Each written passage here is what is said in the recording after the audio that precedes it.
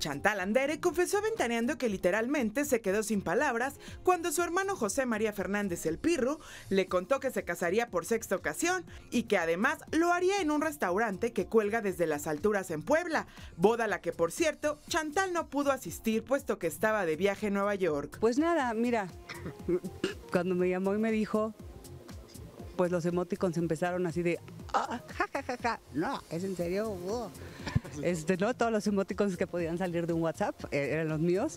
Este, y finalmente yo lo que digo es que si él está feliz y sus hijos, a mí lo que me importa mucho es que los hijos estén bien con eso. Eso es lo que me importa, ¿no?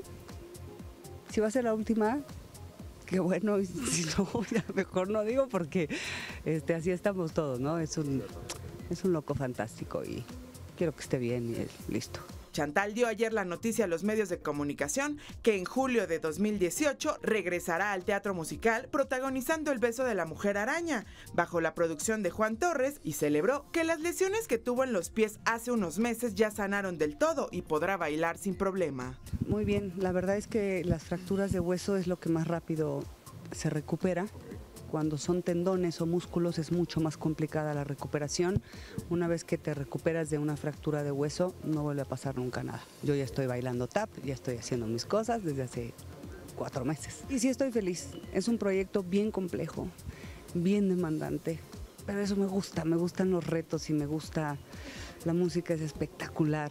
El personaje casi canta toda la obra, tiene muy pocos textos, casi todo lo de ella es cantado.